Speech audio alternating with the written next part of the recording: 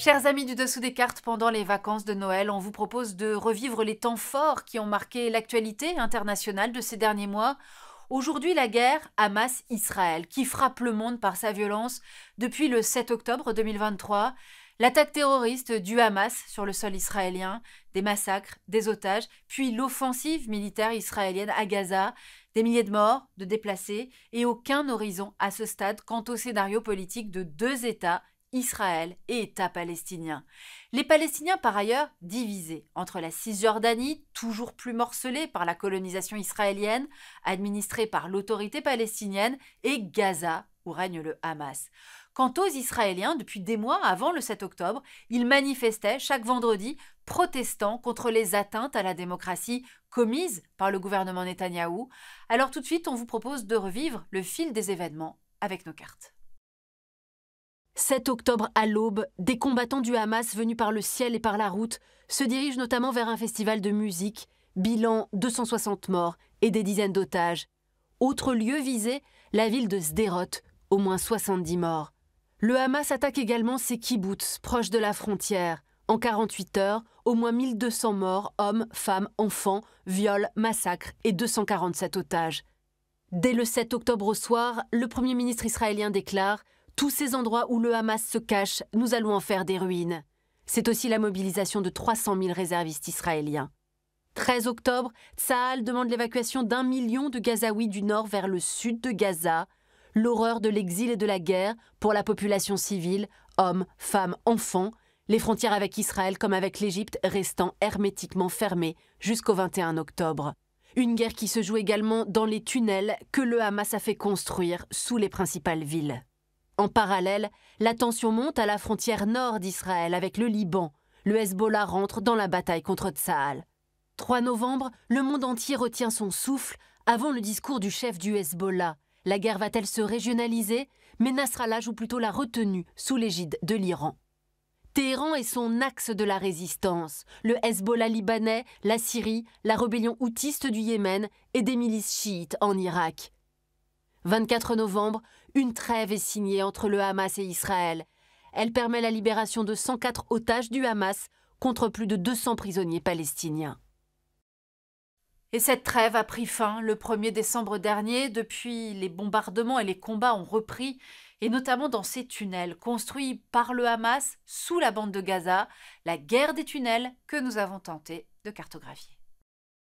Pour commencer, rappelons que le territoire actuel de la bande de Gaza fait 365 km jusqu'à 12 km de large et 41 km de long. Les premiers tunnels pourraient remonter aux années 1980, construits à des fins de contrebande en provenance de l'Égypte, sur cette zone frontalière de 14 km entre la bande de Gaza et le Sinaï. Depuis, voilà ce qu'en dit le Hamas, au pouvoir sur la bande de Gaza depuis 2006. L'un de ses chefs, Yahya Sinoir, évoquait en 2021 un réseau de plus de 500 km. À titre de comparaison, le métro parisien n'en compte que 230 et le métro berlinois 140. Des souterrains du Hamas utilisés pour faire entrer du matériel via l'Égypte, stocker des armes, diriger et lancer des attaques contre Israël, abriter les combattants et depuis le 7 octobre sans doute les otages israéliens. Voici maintenant une carte de ces tunnels établie par les forces israéliennes en 2014. On constate qu'à cette date, les tunnels semblent concentrés sous les deux principales villes de l'enclave, Gaza et Khan La guerre entre Israël et le Hamas qui se joue donc dans les sous-sols de Gaza, mais également à une autre échelle sur l'ensemble de l'échiquier international.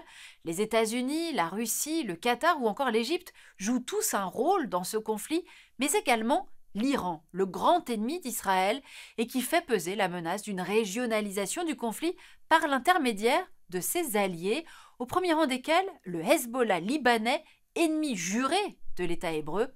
Voyons pourquoi.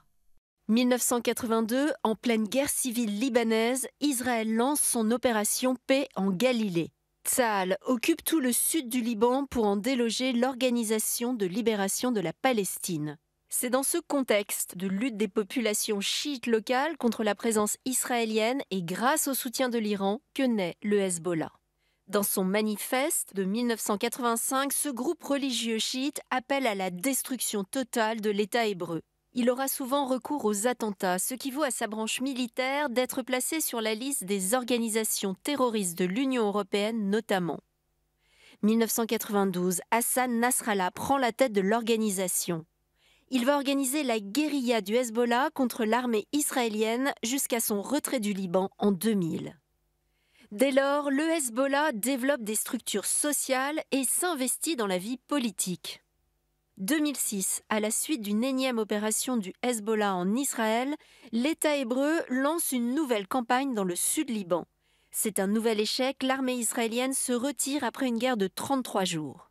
2012, le Hezbollah trouve un nouveau théâtre d'opération, la Syrie, pour défendre le régime de Bachar al-Assad aux côtés de l'Iran et de la Russie, et y acquiert une expérience qui le fait changer d'envergure.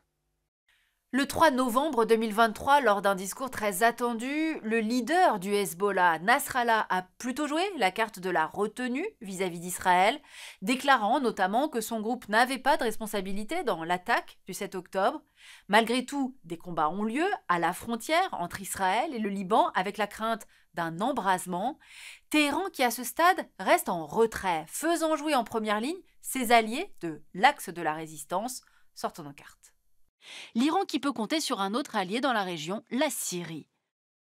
Depuis la guerre civile, pendant laquelle la République islamique a contribué à sauver le régime de Bachar el-Assad, Téhéran y dispose de milices et même, d'après de nombreuses sources, de bases militaires, notamment près d'Alep et de Damas.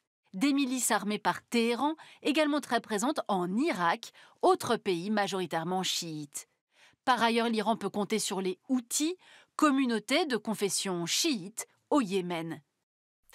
Et ces milices houtistes sont passées à l'action ces dernières semaines. Elles ont tiré plusieurs missiles en direction d'Israël, tous interceptés par les forces navales françaises et américaines stationnant en mer Rouge. Le 19 novembre, les Houthis ont même pris d'assaut et ramené sur leur côte, au Yémen, un cargo, considéré à tort comme israélien. Avec cette nouvelle menace qui pèse sur la mer Rouge, c'est l'ensemble du commerce international qui pourrait être fragilisé. Voyons pourquoi. Large d'à peine 250 km, la mer Rouge forme d'abord un trait d'union, on l'a vu, entre deux continents, l'Afrique d'un côté, l'Asie de l'autre. Au sud, la mer Rouge débouche dans l'océan Indien par le Bab el-Mandeb.